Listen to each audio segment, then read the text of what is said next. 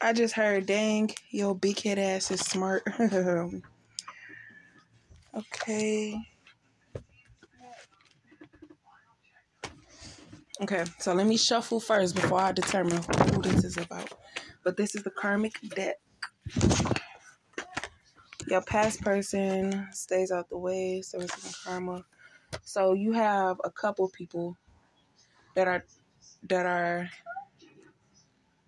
it's like everybody that came into contact with you knew what you were when you didn't know what you were and they use that to their advantage. And now that you're catching on to it and you're putting um faces to energies people are starting to receive karma because of the this this dishonesty that they use to get you to give them something.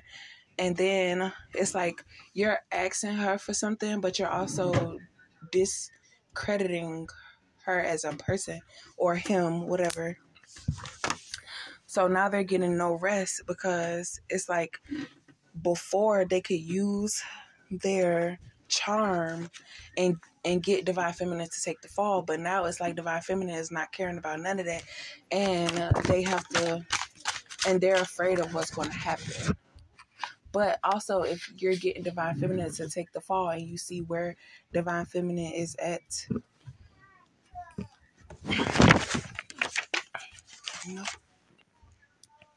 Treat others how you want to be treated. You don't like medicine, so so that's that's something that you need to apply to every situation. You're passionate about it, so once you get a download about it, you take that download serious. But it's like you have these karmics imitating downloads, so you don't know which download is true and which download is not. But you also have to remember that God is not going to put you in the direction of feeling like you are in fear when you receive a download. So if you feel like, oh dang, I have to worry and watch my back, it's from the karmics and they're trying to get you to take their karma or they're trying to get you to assume that that's what they're going to do to you so you do it to them and it's like I, I don't even know what you're talking about playing the victim type stuff. So just know which downloads are to protect you and which downloads are to uh, finesse you. Okay? Unreachable unbothered untouchable um and self-loved So they're trying to come for your character. They're trying to say like the exact things that they do. Like, oh, you wearing the same clothes from yesterday and da da da da. Like, yeah, Shorty, I, I it's you know, I had to do some things this month, so I wasn't able to wash all of my clothes. Or it's like you came across some clothes, like it's gonna get cold, so you have to wash more covers than clothes.